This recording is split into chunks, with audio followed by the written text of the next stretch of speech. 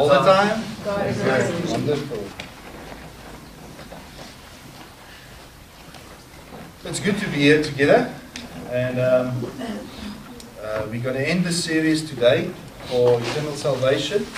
And just to remind you, next week we will be beginning with a series on Jonah. I want to invite you, most probably the most preached portion of scripture in the Bible, Jonah. And uh, I believe God has also something for us in, um, in that book to, to hear and to learn as His children. Um, if you have your Bibles with you, you can turn to it, uh, Romans chapter 5. We're going to end with verse 9 to verse 11. I'll put it up there for you. But I don't want you to be lazy and not bring your Bibles anymore because the um, scripture is on there. So maybe just bring a different translation, different version, so that you can see what um, the difference is. I'm reading from the ESV translation. Everything all working well. Let's read together from verse 9. Since we have now been justified by his blood, how much more shall we be saved from God's wrath through him? For if, while we were God's enemies, we were reconciled to him through the death of his Son, how much more, having been reconciled, shall we be saved through his life? Not only is this so, but we also boast in God through our Lord Jesus Christ, through whom we have now received reconciliation. Let's bow our heads and pray together. Father, we thank you this mor- morning for your word. We thank you for the words of life, words of truth that bring salvation and brings liberty to those who come to you in faith this morning and trust in you. And I pray that your words will be, will, will be powerful this morning so that we can hear what you want to say. May we open our hearts, may we uh, open our eyes, Lord, so that we can, can see your truth and hear your word in Jesus' wonderful name. Amen. Take this one.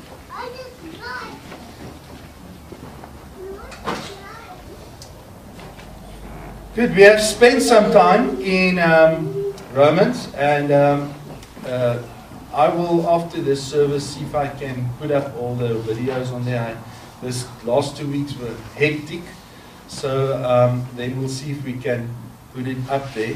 And for those who missed some of the sermons, so if you missed some of the sermons, if you, um, I remember when I was in Rustenburg, the pastor they always said, "Let one slip one."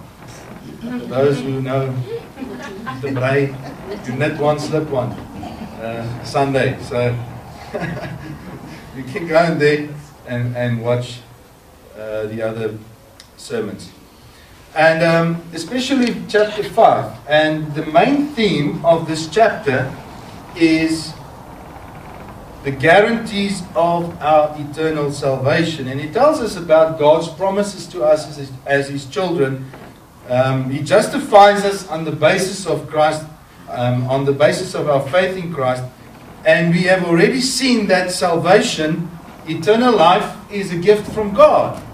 Uh, it's, an, uh, it's, it's a gift that we cannot earn, that we cannot um, uh, merit by our good works. We can do nothing to get that. A gift is a gift. If I give you a gift on your birthday, you're not going to pay me for it. Otherwise, you just slap in my face. Um, but it's not, a, it's, it's not something you earn. And I want to say this morning that when God gives us a gift, He never takes it back. No, what? no amen. amen. If God gives us a gift, He never takes it back. Now, just to take you, um, remind you, Ephesians 2 verse 8 says, For by grace you are saved through faith, and this is not of your own doing, this is a gift of God. Salvation, according to the scripture, salvation is the gift. Salvation is the gift of God, and it is guaranteed. And yes, people make promises, but people break promises. Okay? Um, people cannot be trusted. Even ourselves, who are saved and call ourselves children of God, we disappoint others. We disappoint so many times other people. We so many times we disappoint God. It is in our sin nature, And as Paul says in Romans 7, he says, Those things that I should do, I do not. And those things that I do, should not do, I do. And um, people are unreliable. You are unreliable. People are unfaithful and un, uh, not trustworthy. But I want to tell you something, and, uh, and you should never forget this. Never forget this. This can make maybe a kind of a slogan or something. God is faithful always. No, he means to God is faithful. Say, just say to the guy next to you, God is faithful always. Yeah, I'm getting them started. They're still in the, in the first, this is nog een eerste keer. So let's go the second gear. Okay, just to remind you, um, this is a very important scripture. This is in Jeremiah 17:5. It says, Thus says the Lord, cursed is the man who trusts in man and make flesh his strength, whose heart turns away from the Lord. He is like a shrub in the desert and shall not see any good come. He shall dwell in the po- um, parched, parched, parched, that's right? Parched. He shall dwell in the parched places of the wilderness in an uninhabited salt land. Now look at the contrast. Verse 7 Blessed is the man who trusts in the Lord, whose trust is the Lord. He is like a tree planted by water that sends out its roots by the stream and does not fear when heat comes. For its, its leaves remain green and it's not anxious in the year of drought, for it does not cease to bear fruit. Can you see the difference between someone that does not trust God but trust himself and someone that trusts God? That's a huge difference. Remember the guy creeping, crawling on the ice in fear, anxious, because he's not trusting in the ice. He's trusting in his own ability to get across. But the one who's riding on the horse, smiling, singing joyfully, he trusts the ice because he knows it's solid and strong enough. It's the same with us. And the difference between our trusting in man and trusting in God, it's a huge difference. Man fails, but let me just give you assurance this morning, not because I said so, because God says, God never fails. God is trustworthy. God is faithful always. Now, 2 Timothy chapter 2, verse 13 says, If we are faithless, he remains Faithful. faithful because he cannot deny himself. Hebrew 10:23. Let us hold fast. We just sang, uh, sung the song. Um, Let us hold fast the confession of our hope without wavering, for he who promised is faithful. So it's not actually us holding on to Christ. We hold fast to the confession, but it is Christ that is faithful that holds us and keeps us. And he is prom- uh, faithful because he promised to give us eternal life. Why should we should you hold fast the confession of your faith? Because he is faithful. Amen. Amen. First Thessalonians chapter 5 verse 23. Another important verse says, Now may the God of peace himself sanctify you completely and may your whole spirit and soul and body be kept blameless at the coming of our Lord Jesus Christ. Okay, who keeps us?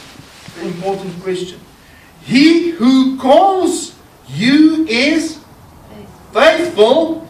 He will surely do it. Who is doing it? God is doing it. He will surely do what? He will keep us, our spirit, our soul, our body blameless until the coming of Christ. That can only happen by one means if God saves us continuously. Remember, salvation past, He saved us from the punishment of sin, but He saves us continuously. That is sanctification. God keeps us blameless until Jesus comes.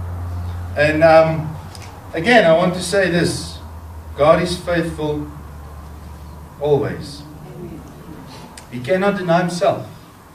Now, Romans 5 mentions six guarantees. We've already spoken about four of them that forever binds us to God.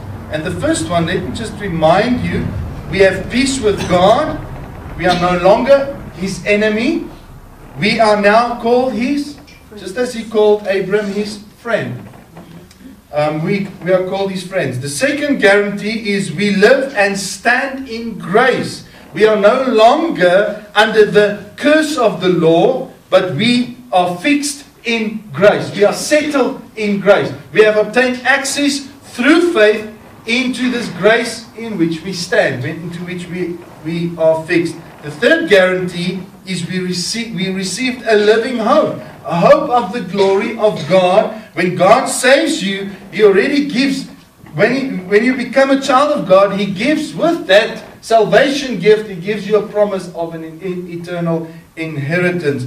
An inheritance that is kept by the, uh, in heaven by the power of God. It cannot, um, it cannot perish. Now, the fourth guarantee is the assurance of love. And God's love was poured into our hearts by giving us the Holy Spirit. And the Holy Spirit was, uh, is the, uh, the, the earnest, the guarantee of our salvation. And it's given to every believer. There's no such thing as a spiritless believer. New Testament, talking about New Testament, not Old Testament. There's no such thing as a, a Christian that does not have the Spirit of God. Romans 8, verse 9. You can go and read. If you do not have the Spirit of Christ, you do not belong to Him. Simple as that. And your salvation is eternal. Why? Because nothing can separate us from the love of God. Romans 8. Nothing can separate us from His love. Now, the one we're going to look at is deliverance. And this is very important that we also go into detail with this. Now, can you today make the following statement? Can you say, I am free? Who can say that? I am free. Only a few. Is it harde werk Can you declare that God saved my soul? Can you say that this morning? God delivered me from uh, from death and punishment of sin. But when we say we are free or we are saved, the question is I'm saved, I'm delivered from what? Sin and death. Sin and death. Sometimes we, we tell people, I'm free. Christ saved me, I'm free, but they don't understand what you're free from. It's like when you when when I was a student, I was driving there, Roodepoort, there on, uh, at Westgate and through the tunnel. Someone wrote on the wall, "Jesus is the answer," and then someone else asked, "But what is the question?"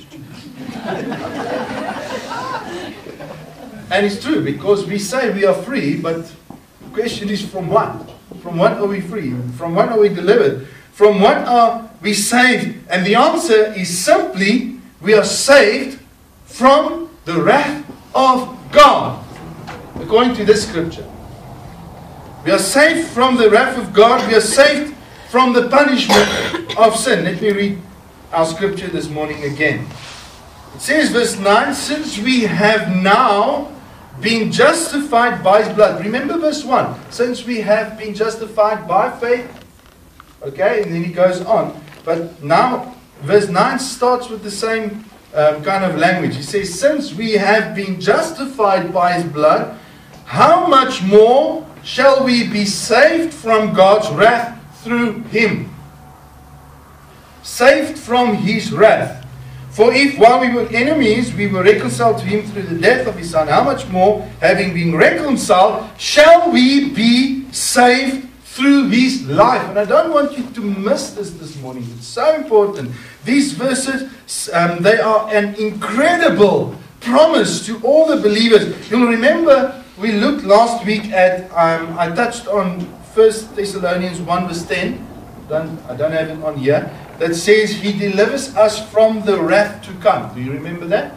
He delivers us from the wrath to come. Romans 5 verse 9 says, says the same thing. It says that we shall be saved from God's wrath through Him. In other words, we are saved by God, from God, to God. This is a yeah. very important statement I'm, I'm making. We are saved by God We are saved from God and we are saved for God. God delivers us from Himself.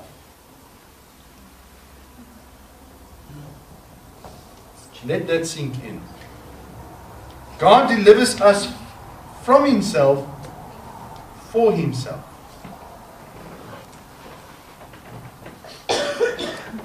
Now, if we go back to Egypt, when the Israelites were in Egypt, God sent 10 plagues to Egypt. And the 10th plague, if, if you can remember, was when God sent the death angel to put the firstborn sons of Egypt to death. And yes, God did, did this to deliver Israel from slavery. But however, it didn't stop there. The Israelites had to put on the Passover's lamb's blood on the doorposts of their houses. Something is wrong. Yeah. These papers get confused. I'm confused. Got the Romans 5. Is that printed? Prints not the right way. If, if my sermon doesn't make sense today, it's not my fault. Poor workman always blames his tools. Huh? I want to get a cable to my tab so I can use my tab again because this thing is confusing now. Let's hope it's in the right order. Okay, when God delivered Israel, the Israelites from, from Egypt, they had to take a, a perfect lamb and slaughter it and take the blood and put it on the doorposts of their houses. So when God, that night, when God killed the, the firstborn of Egypt, that was a sign to the people that they were saved from God Himself. Okay? The lamb's blood symbolically shielded the children of the Israelites from God's wrath because the lamb was slain in their place. Foreshadowing, obviously, the eternal salvation that comes to those who are covered by the blood of the lamb. Do you follow me? Now, it is true that we are saved from the guilt of sin. It is true that we are saved from the punishment of sin. It is true that we are saved from the bondage and enslavement of sin. But more significantly, God saves us from his, Himself, from His wrath against sin. But we are not only saved by God and from God, we are also saved for God. Let's read that together in Revelation 5, verse 9. It says, And they sang a new song Worthy are you to take the scroll and to open this, its seals, for you were slain, and by your blood you ransomed people for God from every tribe and language and people and nation. Christ ransomed people for God. King James Version says he redeemed us to God. The American Standard Version says this way. He says that we are purchased unto God. God saves, He delivers us from Himself to Himself. Let, let that just sink in a little bit in, because it's so important that you understand. Yes, we benefit from this deliverance. Yes, we receive the free gift of eternal life. Yes, God saves us, but God Himself is the primary beneficiary of this redemption. God is the primary beneficiary of this redemption. Redemption. Christ purchased sinners for God. God's primary motive for deliverance is not us, but God's glory. We are the recipients and not the primary end of salvation. So we are delivered from God, from His wrath. We are delivered by God and by, by the sacrifice of Christ. And we are delivered for God, for His pleasure, for His praise, for His glory. That's why God saved us. There's nothing to boast in it. You cannot say, oh, walking in the streets of the golden streets in heaven one day and say, oh, it's wonderful to walk here. I made it. There's nothing to boast. God saves us for His own glory. Now we know that us being saved from God's wrath through Christ is a present reality. This is important. Although it is still a future event, it is now a present reality.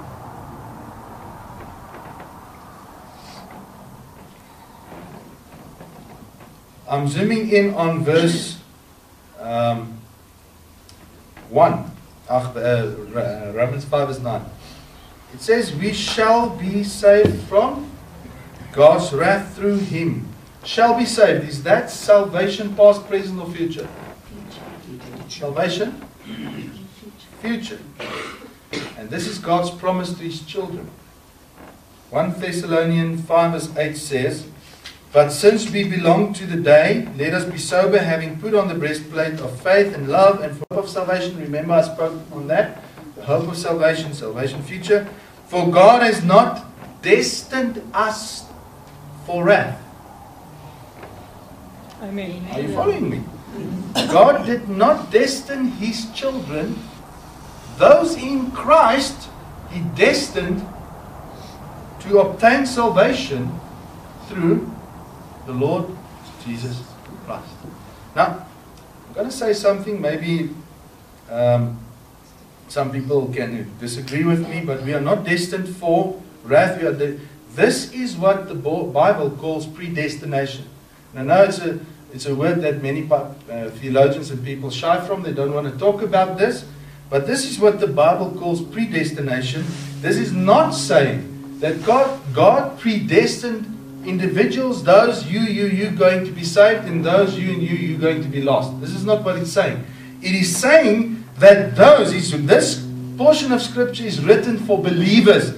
He's saying that those who are saved, God predestined, or oh, God destined them not for wrath, but for salvation. So God destined those in Christ not to be damned. He destined those to obtain salvation. That is the future final glory.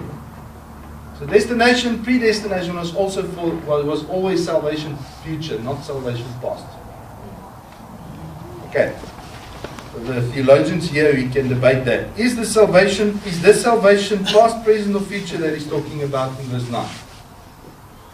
Salvation? Future. Now this is our future salvation, and God's children are destined for for salvation, the final salvation, final glory. This is God's promise to us. And this can only be true if all our sins, all our sins, past, present sins, and future sins, is dealt with. Some people have this idea that God, Christ, when He died on the cross, He only died and paid the penalty for our past sins. That's not true. Christ actually died for all unrighteousness in the universe. He died for all of it. We just receive that benefit of salvation. You see, God's justice is satisfied in Christ's atonement. God is satisfied with Christ's death on the cross. God's judge, judgment upon all our sins, past, present, and future, is being dealt with upon the cross. And it is for this reason that we can now say that we are delivered, we are saved from the future wrath. It's for this reason. We are not only delivered from the bondage of sin, but we are delivered from the future wrath, the punishment. Please note these tenses in this verse.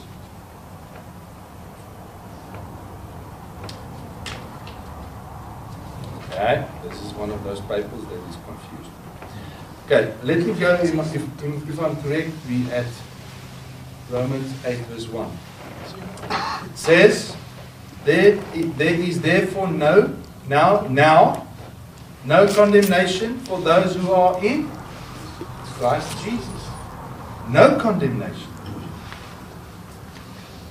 I want you to listen carefully. God's children never can and never will go to hell. Amen. Eunice, I see you happy about that. Because, why? Because they are saved from hell at the moment they are born again. At the moment God saves you, you are saved from hell. That is a present reality, although it's still a future event. God's children can never be lost. This is what Romans 5 says that we shall be saved from God's wrath. And this is the guarantee of our eternal salvation. Let me go to verse 9.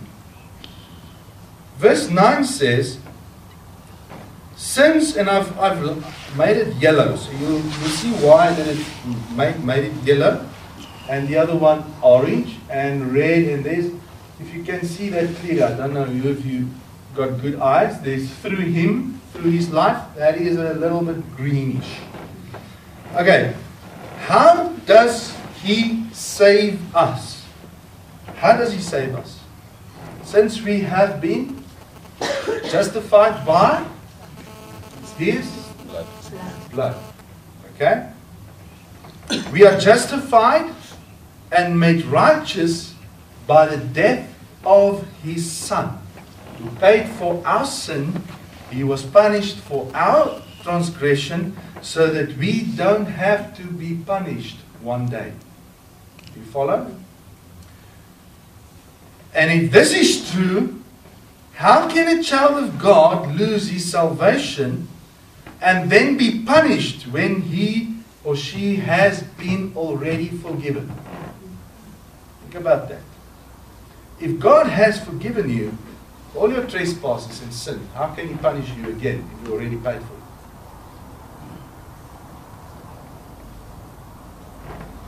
Now, the sacrifice of Christ makes us acceptable for God. We have peace with God. We stand in grace. We have the hope of the glory of God. His love has been poured into our hearts by the Holy Spirit that is given to us. We are delivered from the wrath of God. And this all was made possible by His blood, by His death, by His resurrection. Now, I want to make a comment on this, and this is just maybe a little bit off track. But when the Bible speaks about the blood of Jesus Christ, it is not speaking about a mystical blood that has magical powers.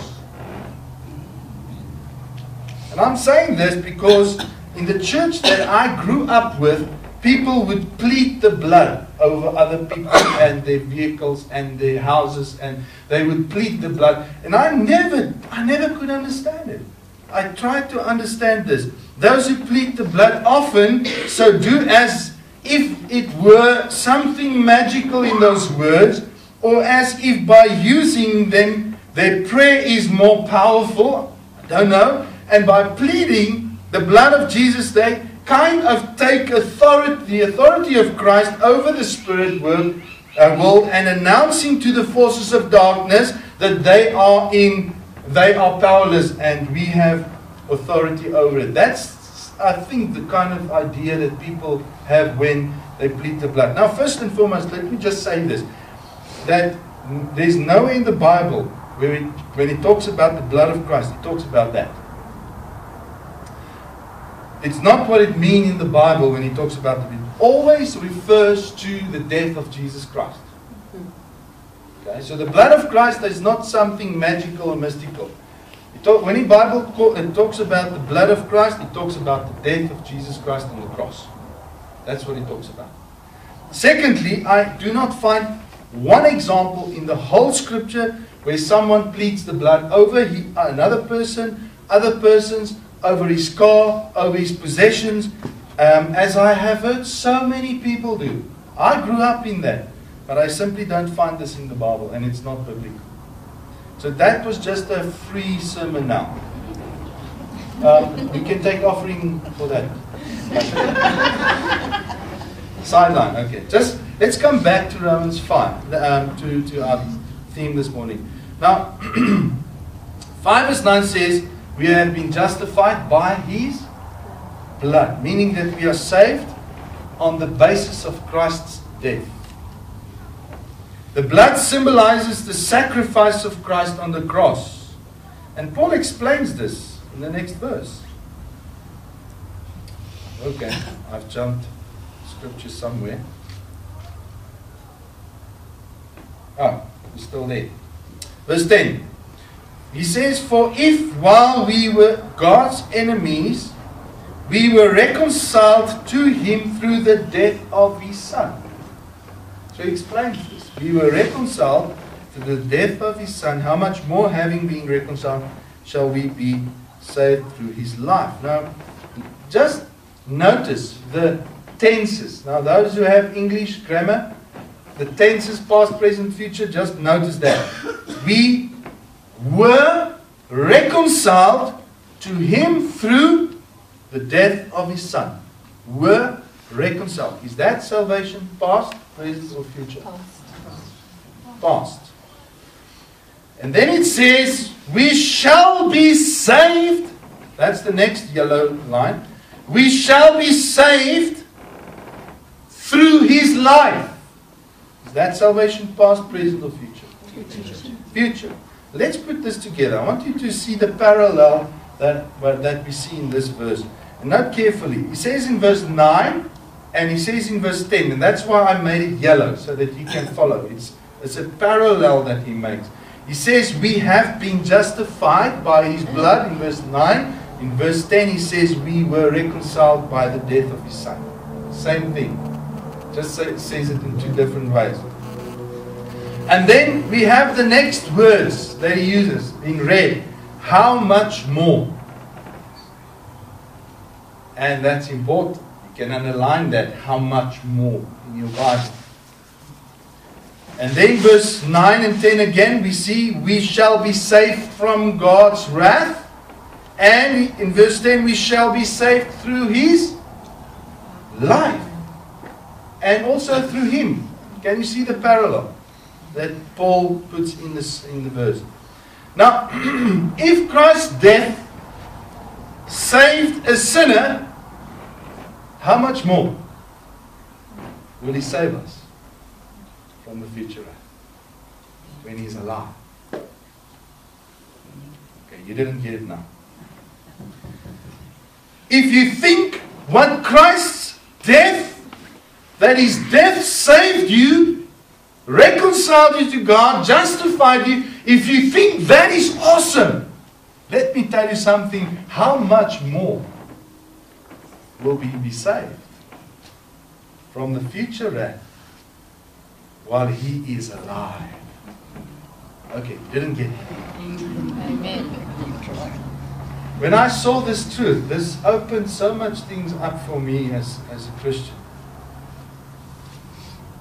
How much, look what God can do. Look what, if Christ's death, while you were a sinner, you were an enemy. If his death saved you, how much more will he save you as a believer while he is alive?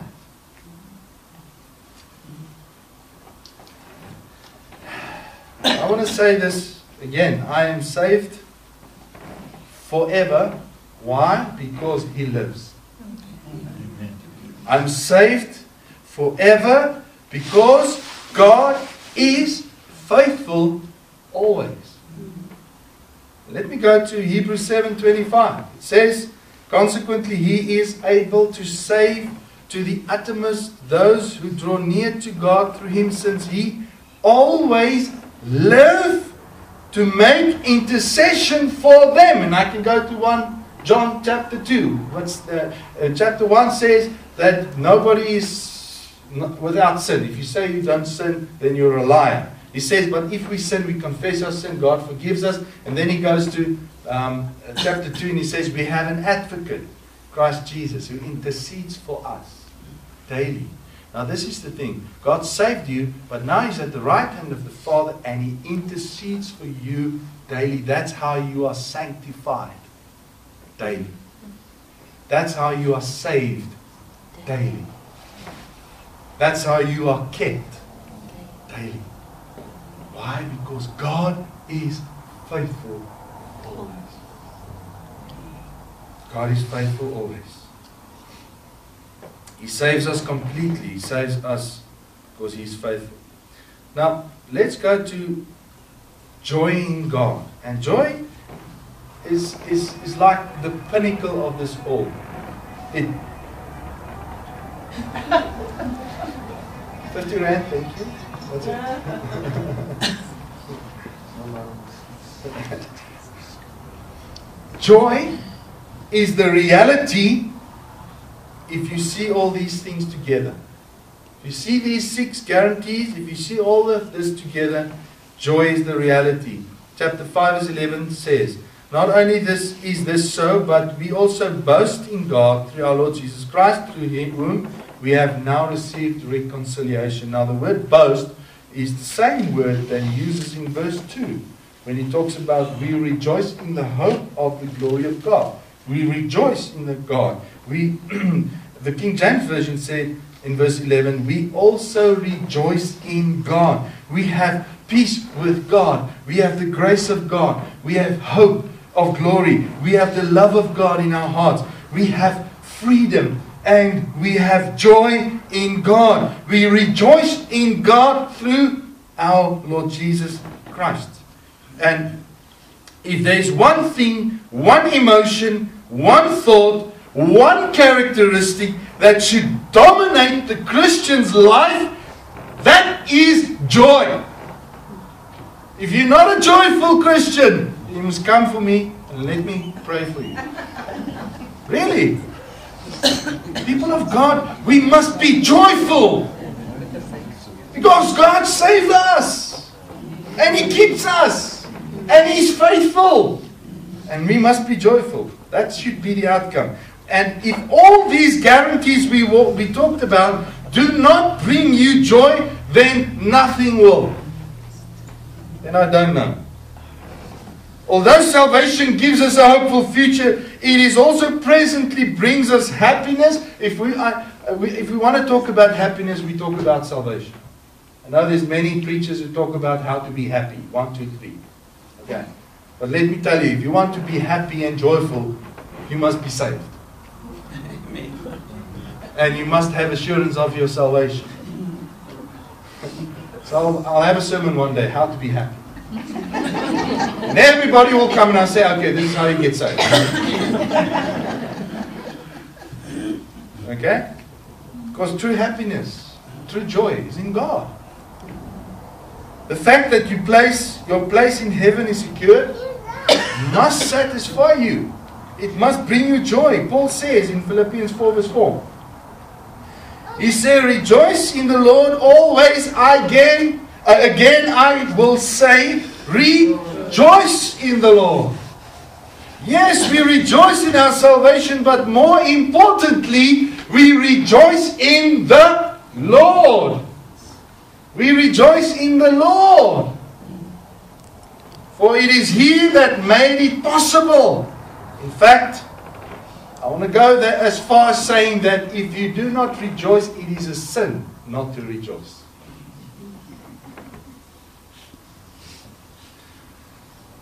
I mean, what more do you want from life? Do you want happiness? More happiness? Do you want more convenience? Do you want more pleasure? More possessions? What more would make you happy? What will bring you joy if these things that we talked about does not bring you joy? Let me say to you, some people think marriage will bring joy. Where's my wife's not decided? Ah. Listen, marriage is not for, you don't marry for happiness. you marry for holiness. And um, I've, I've, I've discovered the verse that if you don't have, want any marital problems in your life, come on the 9th of September. okay? But 1 Corinthians 7, verse 28 says, if you marry, you will have trouble. Go read it. If you marry, you will have trouble. Okay, I'll leave all the rest for tonight.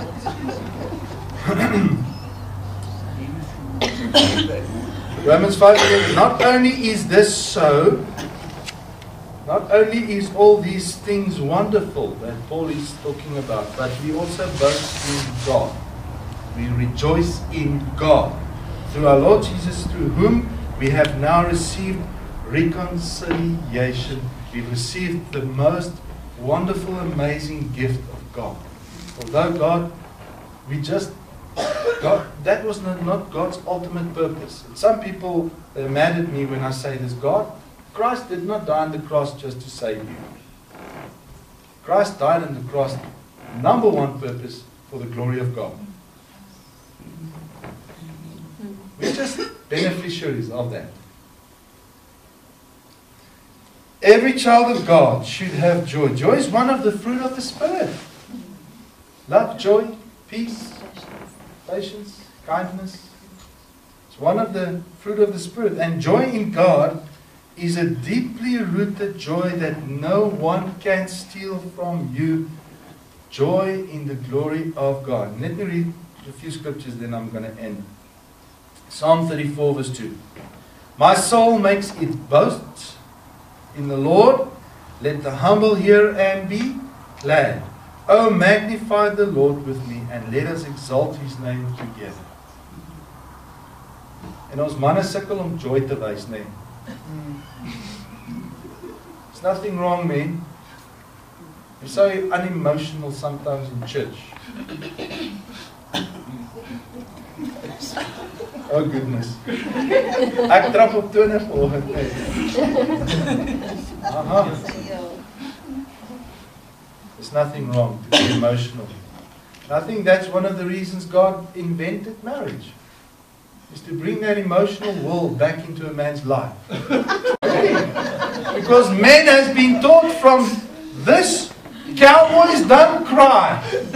And we become hard and we become closed mind, unemotional. Okay?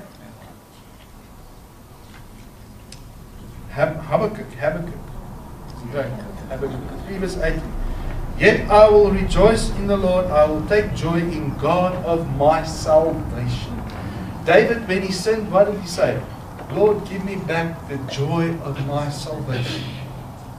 The joy of my salvation. Psalm 43, verse 4. Then I will go to the altar of God, to God my to God my exceeding joy, and I will praise you with the lyre, O God my God. There is nothing in ourselves to boast about, nothing in ourselves to be proud of. We boast in Jesus Christ. In Him we have found peace. In Him we have found grace. In Him we have found hope. In Him we have love. In Him we have deliverance.